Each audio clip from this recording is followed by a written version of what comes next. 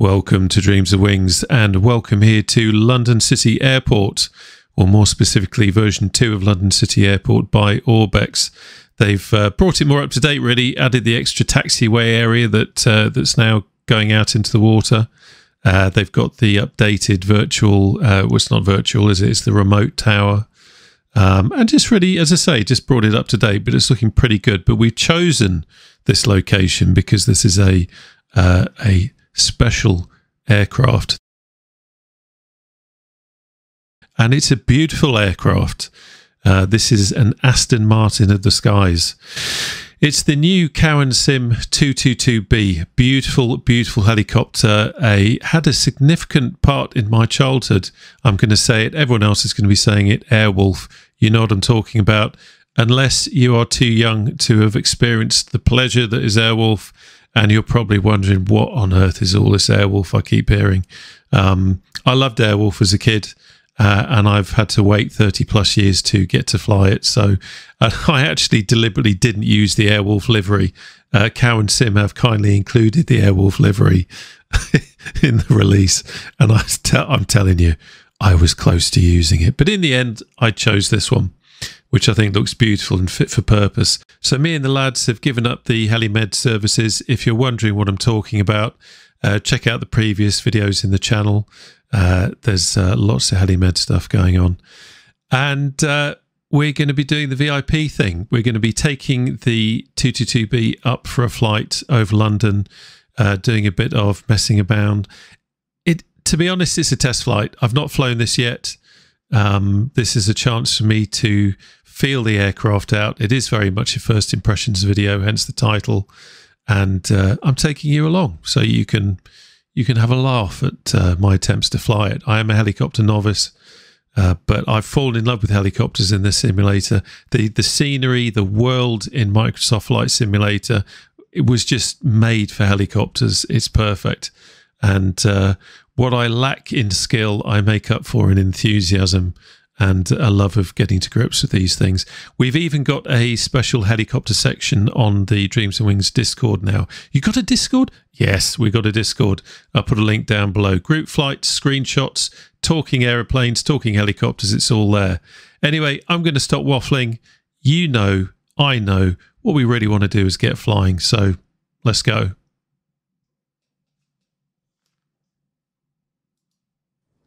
Okay, here we go. We've got our lovely analog cockpit. Really nice to see.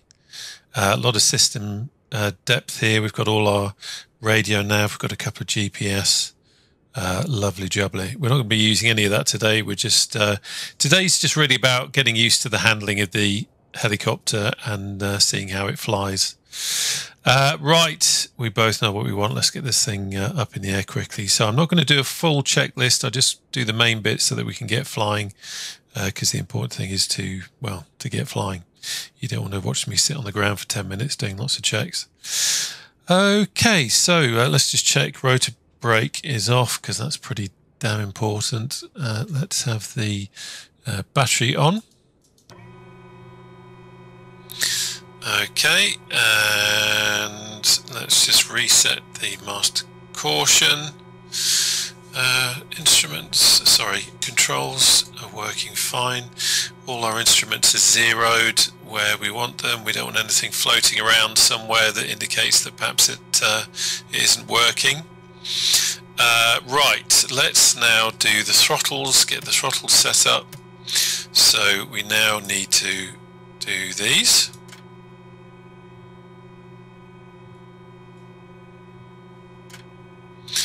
And do the same here.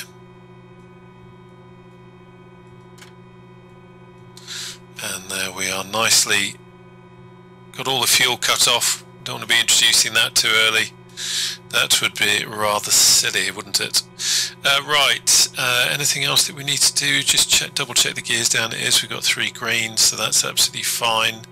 Nothing else uh, giving us any kind of uh, reasons for anxiety.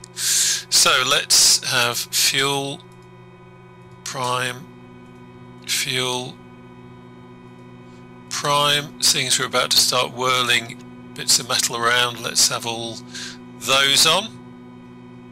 quick look back at the checklist just to make sure I haven't uh, missed anything. Otherwise, everything else that should be off is off. Okay. Uh, oh, hydraulic switches. Yeah, they're on. Okay, okay, okay, okay, okay, okay, okay, okay. Rotor brake. Uh, just double check that that is off again. Yes, it is. Uh, let's have the seat belts and everything on in the back for the VIPs. You're right in the back, VIPs? You doing all right? Yep. No, they're not talking to each other. Obviously, something has gone uh, gone terribly wrong there. Uh, right, no one is around. No, good. So let's do the start. So I want to keep quiet so that I don't uh, destroy your enjoyment of the um, startup sounds. Uh, so just very quickly what I'm going to do is when the uh, NG gauge is here, get to that marker there, which is 11%, uh, uh, then uh, I'll introduce the fuel and, and everything will be tickety-boo. Okay? So...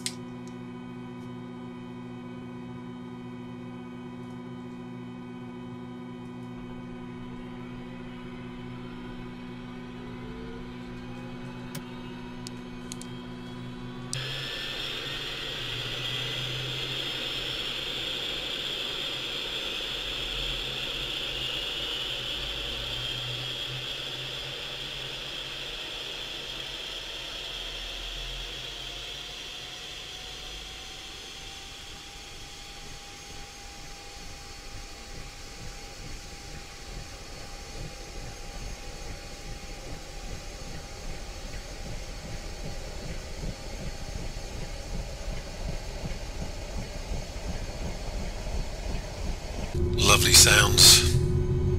Okay, back to the instruments. Okay, that's good. So the starter on uh, engine 1 has gone out. Let's close the cover.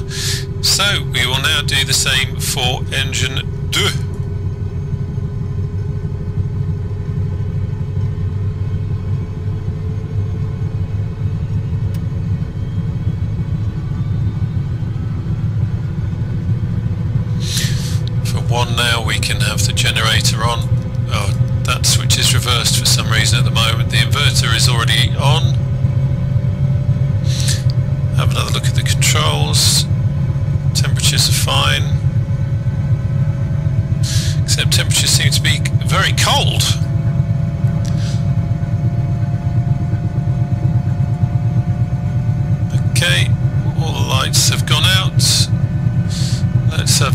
Have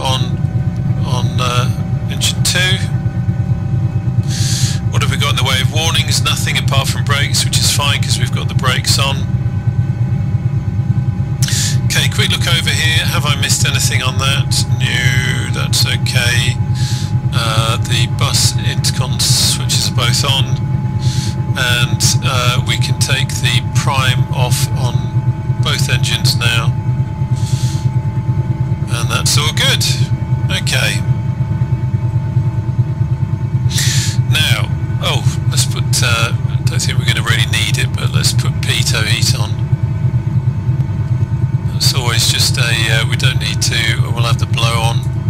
Don't need to worry about anti-icing today. Get out of the way, nasty menu. Okay. Right, another quick check. Okay, now we can start winding the engines up, so uh, we will introduce throttle. Uh, as I haven't got a hand on both of those, as you would have in the real thing, I'm going to I'm going to try and do both at the same time using quick movement. So we'll see how it goes.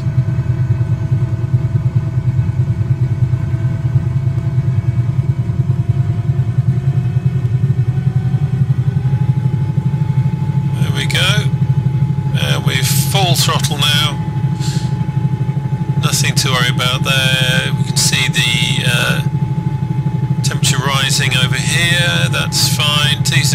good. Let's go outside.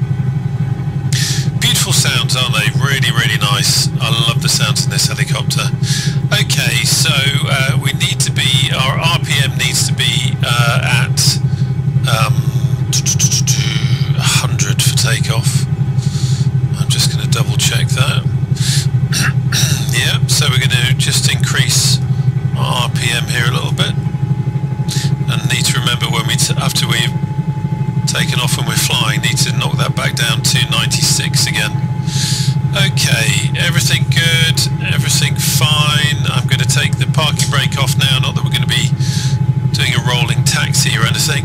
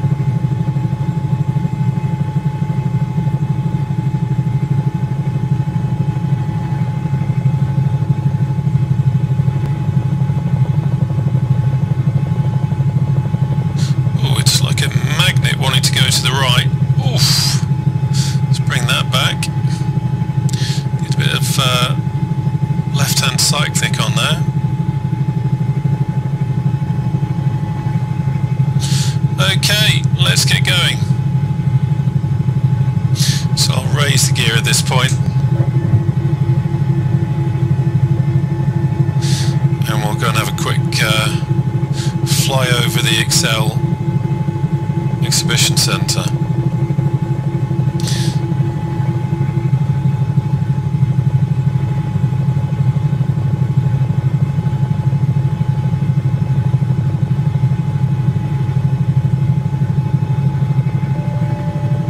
So I've got a manual cache on for London today. Normally I steer clear of London um, purely because my atrocious internet speeds of 10 megabits per second, count them, uh, mean that it just can't load in the scenery, but I've got a manual cache built in, which is certainly helping. The moving cable cars there. So I've got the Orbx uh, London landmarks as well, which adds a bit of extra detail in. Just going over the old Millennium Dome.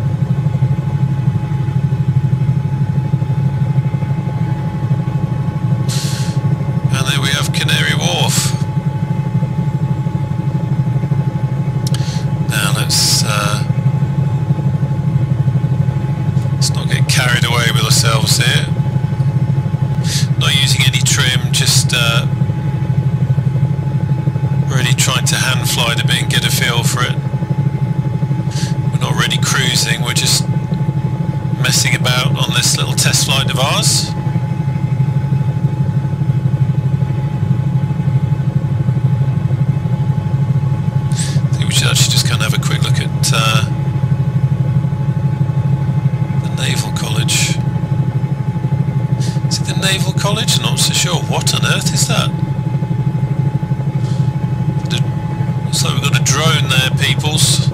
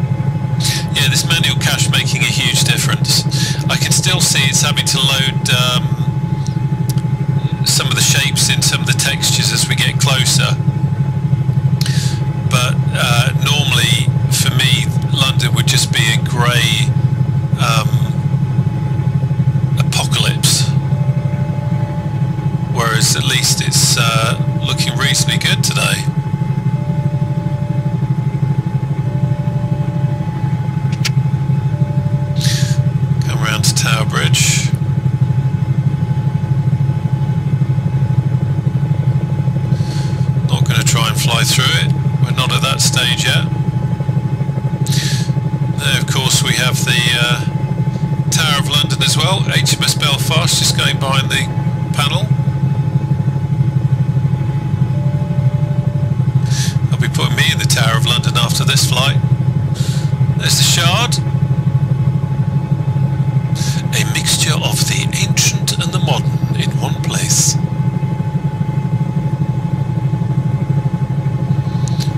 And have a look at of.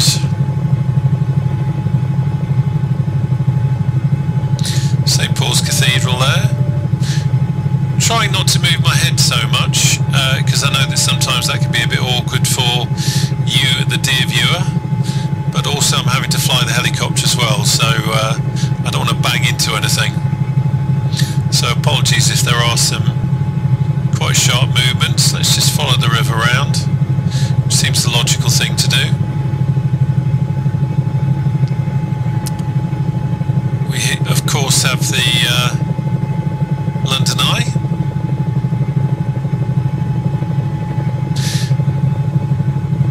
Lovely to fly this helicopter. It's got a nice feel to it, just doing this kind of thing. Feels that you could really do some Airwolf style chucking it around the canyons. Houses of Parliament on the right there, ladies and gentlemen, and of course we have Westminster Abbey. Right, oh, let's avoid the uh, frames there. I guess that's the best, best that Bing can do. And let's come round to the right. There's Battersea Power Station over there. And we're going to wing round here and say quick hello to Buckingham Palace.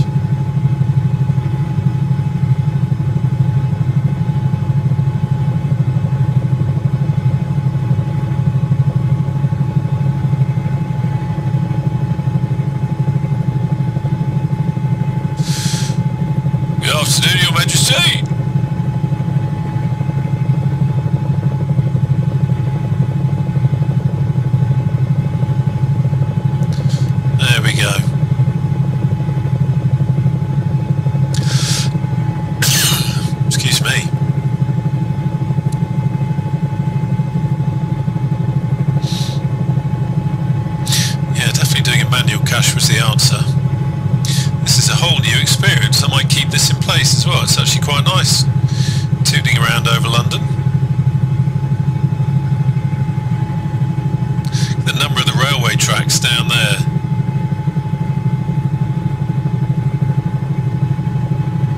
Sure, that is a railway bridge. Battersea Power Station. I think this is now kind of luxury apartments and offices and flats. But of course it's one of the iconic buildings around London. Okay, so the time has come. Can't avoid it any longer. I'm going to land this thing.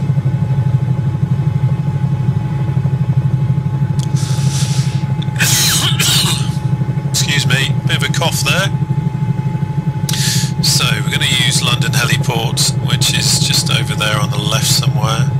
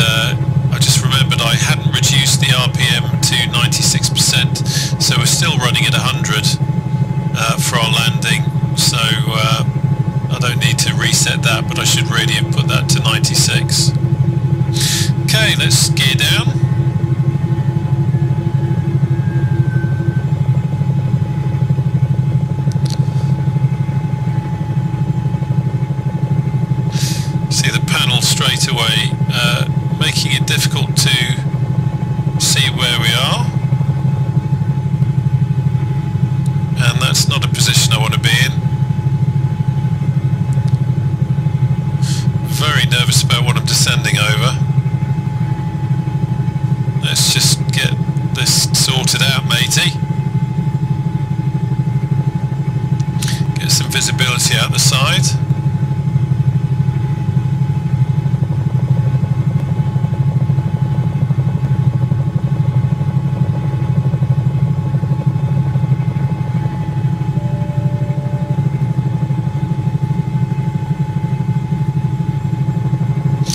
With a lot of helicopters, it's that I find it's this phase where it's very easy to suddenly lose control like then and it suddenly starts dropping like a stone.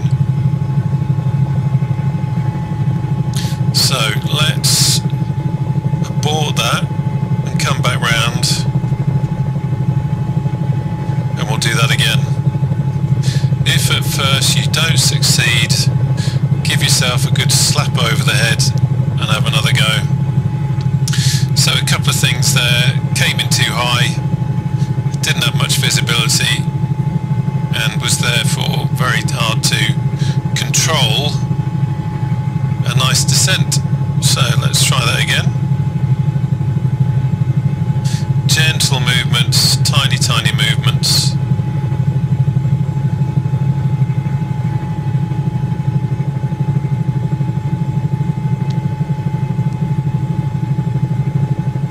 Certainly more docile than the uh, 500E.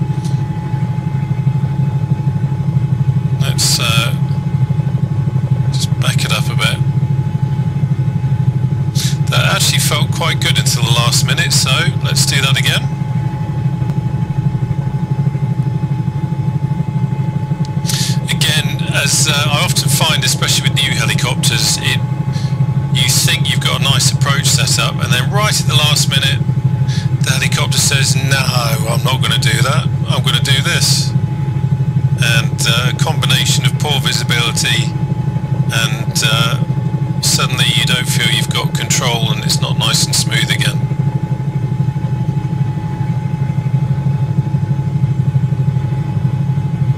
Okay. It's like meditation this.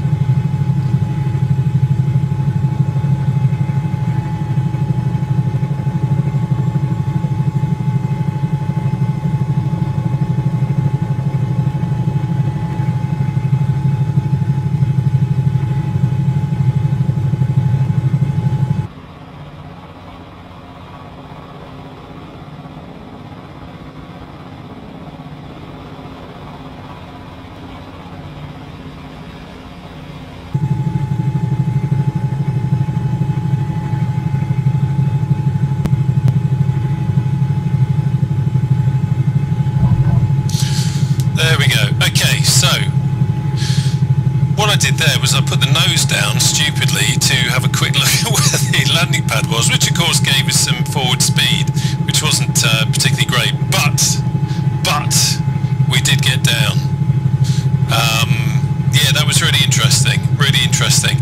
The uh, uh, gorgeous, gorgeous to fly, it really is, and it would be boring if it was easy, and this nice about having a new helicopter to learn the ropes on is that you do have to learn its behaviour and, and uh, you know how it uh, how it moves around and how it behaves. Certainly in those kind of last moments of flight where you um, have that awful feeling that suddenly you're losing uh, you're losing control of it. But but that's what it's all about. This is actually quite a nice place to practice as well.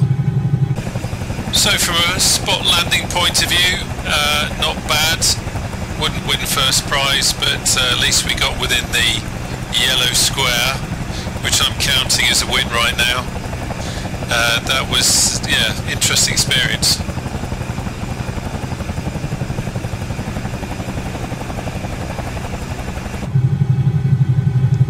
Anyway, I do hope that you enjoyed the flight. Uh, if you did, please do consider subscribing to the channel. I uh, what can I say? This this isn't a review. I don't really do reviews. This is more a you know first impression and you coming on board for the flight. But this is gorgeous. If you like helicopters, I can't see a reason why you wouldn't want to get it.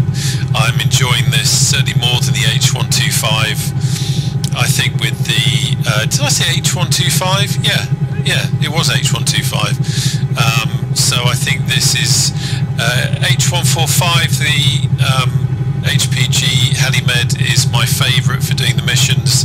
I think this now could well have even taken from the spot with the 500E. So this could well now be my second favourite helicopter.